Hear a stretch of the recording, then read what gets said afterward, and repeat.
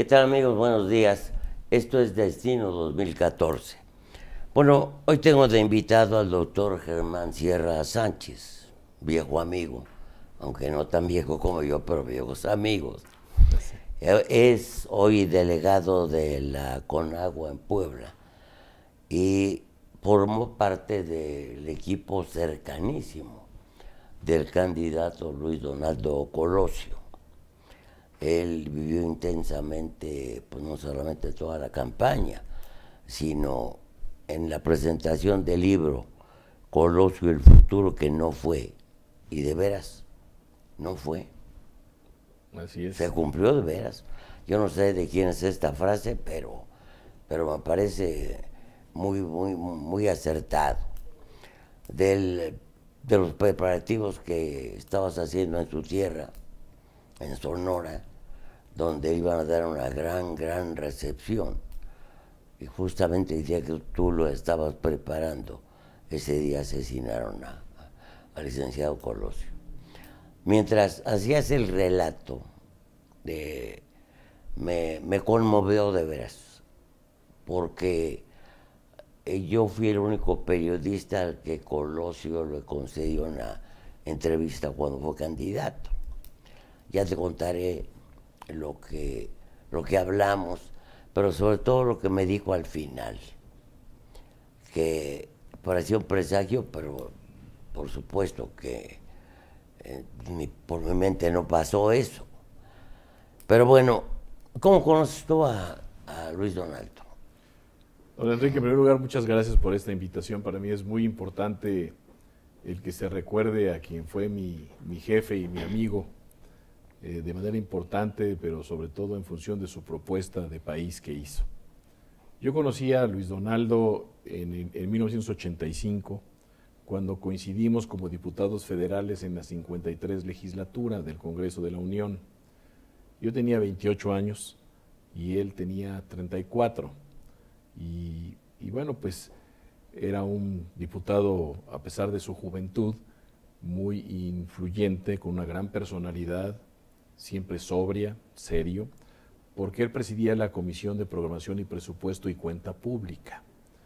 Y también el que hecho que nos sentáramos más o menos en la misma zona, en la Cámara de Diputados, dentro de 500, hizo que compartiéramos muchas pláticas, muchos relatos, muchas convivencias, que nos hizo ser amigos. Y además él, desde el punto de vista político, me arropó porque en esta Cámara de Diputados, en donde hay políticos de una gran trayectoria, pues quienes llegamos sin, eh, sin experiencia alguna a este recinto, pues como se dice en el argot, pues somos novateados. Sin embargo, Colosio, un diputado con una gran presencia y una gran personalidad y fuerza por la comisión que él presidía, pues me arropó políticamente y eso me permitió desarrollarme de mejor manera en, el, en la 53 legislatura y por supuesto estrechó nuestros lazos. Luego, este, cuando finalmente lo nombran, este, bueno, es designado candidato a la presidencia, te, te llama para colaborar. Sí, después de la Cámara de Diputados, yo siendo presidente del Comité Directivo Estatal en Puebla, él fue designado oficial mayor del Comité Ejecutivo Nacional del PRI y coordinador general de la campaña del presidente eh, Carlos Salinas de Gortari. Y conjuntamente nos tocó organizar pues, la gira que eh, Salinas realizó en el estado de Puebla y me di cuenta de, la, de lo minucioso, de lo meticuloso que era, de lo cuidadoso eh, que era para verificar cada uno de los detalles de esa gira y daba instrucciones muy precisas y posteriormente venía a supervisar él personalmente con un enorme desgaste físico porque estaba en todas partes en una campaña presidencial y al mismo tiempo pues coordinando no nada más lo que es la gira. Mucha gente piensa que el coordinar una campaña presidencial es únicamente la gira No, esa es una parte de la campaña, pero hay muchas otras vertientes y él lo hacía con una gran eficacia. Y posteriormente, en 1991, tengo la oportunidad de llegar al Senado de la República, siendo el senador también más joven, de 35 años de edad, y ahí nos encontramos en el Senado de la República nuevamente como compañeros. Por supuesto, desde 1985 empezamos un grupo de diputados federales y otros más a participar en un proyecto que se planteó muy claramente de consolidar una figura que llegara hacia la presidencia de la República. Ese era el objetivo. Y los proyectos en política, me quedó muy claro con, eso, con ese proyecto de Luis Donaldo, que son viables si se hacen las cosas bien y quienes ganan son los equipos mejor organizados.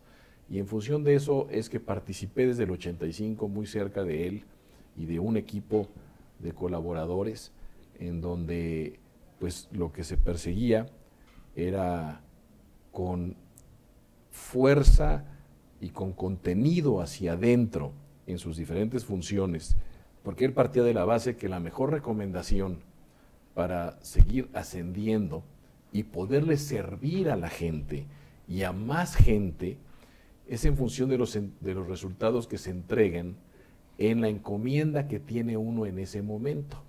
Y entonces, bueno, pues en eso fuimos trabajando y se fue construyendo un proyecto y un liderazgo de Luis Donaldo que finalmente permea en todo México y cuando él es designado candidato a la presidencia de la República, cuando el destape el 28 de noviembre de 1993, inmediatamente me, me llamó, lo acompañé en algunas cuestiones ahí más personales con la familia y él designó cinco coordinadores de gira y dentro de esos cinco me, me, nombró a mí.